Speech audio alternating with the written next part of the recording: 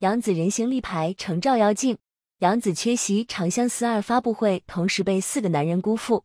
邓为张晚意嫌弃立牌被扔垃圾桶，人情世故被谭健次展现的淋漓尽致。网友痛批男团格局小。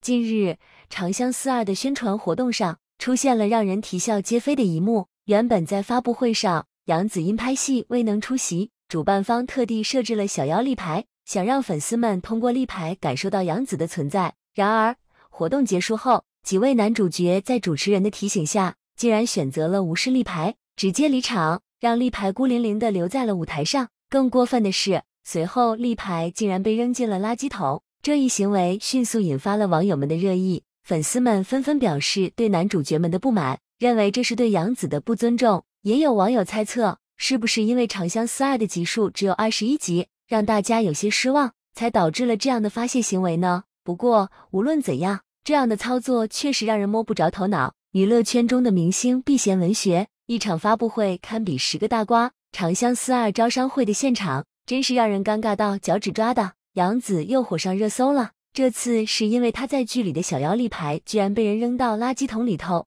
这事儿真是挺让人摸不着头脑的。有人猜是不是《长相思二》七月八号要开播了，他们想用这种方式炒作一下热度。之前《长相思一》那精彩的大结局，杨紫的演技简直把观众迷得不要不要的。很多人说没有杨紫就没有《长相思》，但现在连她这么会说话。情商高的明星都碰到了一个超级尴尬的时刻。发布会上，《长相思二》的四个男主角登场，王弘毅穿红西装，帅得像个妖精；张晚意则是黑色中国风，有点儿油腻的邓为，还有瘦削的谭健次。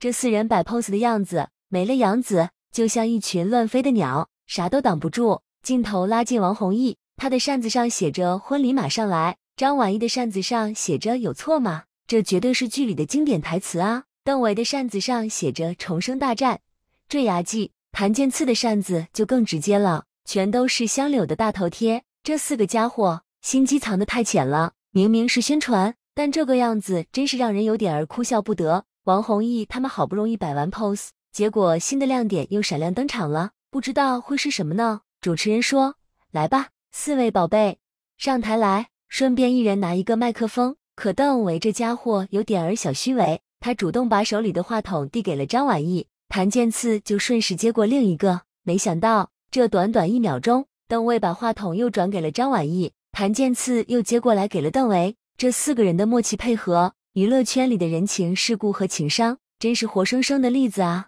可惜啊，杨紫在《长相思二》的宣传晚会上没露面，真是让人有点失落。说实话，他们四个站一块儿，就像少了根定海神针，感觉有点乱糟糟的。缺了点灵魂人物。王弘毅自我介绍的时候，虽然五官普通，没啥亮点，但他那股子痞帅劲儿，至少能让人感觉到他深藏不露的心机和对感情的木讷，有点像《长相思》里的赤水风龙。张晚意在剧中的枪玄演的那个疯癫、隐忍又阴暗，光是他那双会说话的眼睛，就透出枪玄历经风雨的坚韧和无敌气势，简直是惟妙惟肖。邓为这一年不见，是不是去做了什么整容啊？那张脸变化太大，看得我差点认不出来，完全不像《长相思一》里那个风流倜傥的涂山璟了。谭健次的状态简直是杠杠的，那个对外温柔、对小妖热情洋溢的香柳形象，简直就是他的真实写照。特别是他自我介绍时那歪头一笑加犀利眼神，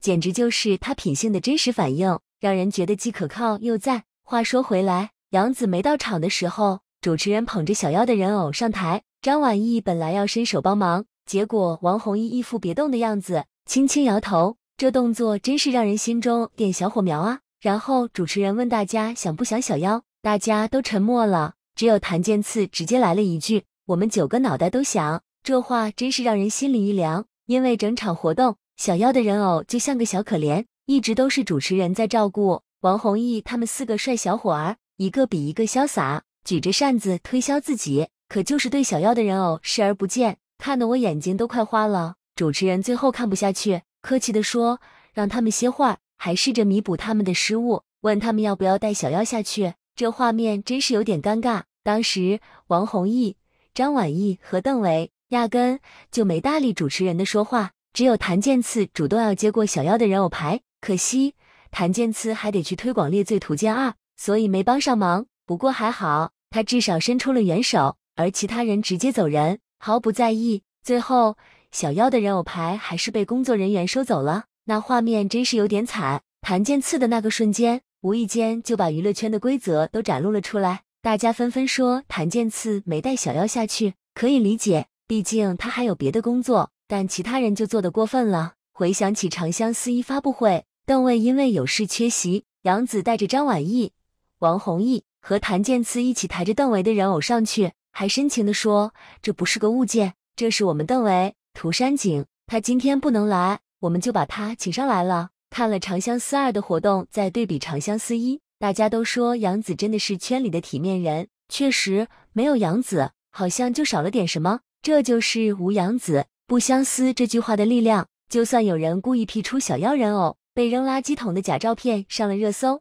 反而也在无形中帮杨子宣传了新作品。大家都说杨子超级有礼貌，跟谁合作都相处得好，没听过谁说过他不好。大家都夸他人好演技棒。看了《长相思二》那个现场。谭健次不经意间的举动，就显出了他超赞的品格和待人的得体。大家都说谭健次嘴巴甜，互动起来又自然，特别懂观众的心，真让人满意。难怪他演啥都火，因为他真的全情投入，把每个角色都琢磨透了。就像在《长相思一》里，小妖扑进香柳怀里那一刻，他眼神里的那份忍耐、惊讶和爱意，简直是藏不住的，太迷人了。杨紫作为九零后女顶流。与她相关的一举一动，粉丝们自然也都是在用放大镜看着。之前肖战帮杨紫提裙摆，虽然被夸绅士风度，但也被吐槽蹭热度。和杨紫二搭的李现也是。如今看来，长相思男团们或许也是看到肖战、李现吃过亏，长记性了。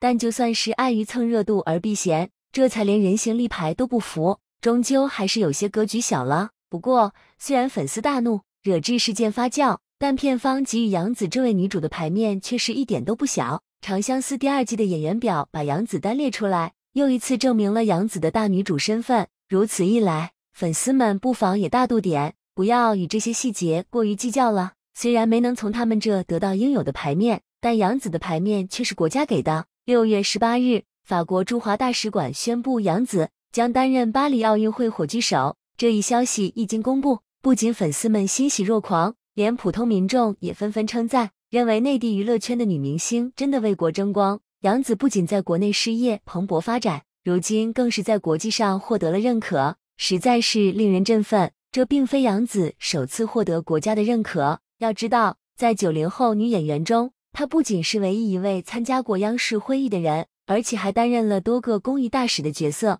据粉丝统计，杨紫已经获得了央视超过二十次的表扬。如此一位根正苗红。充满正能量的演员，怎能不让人喜爱呢？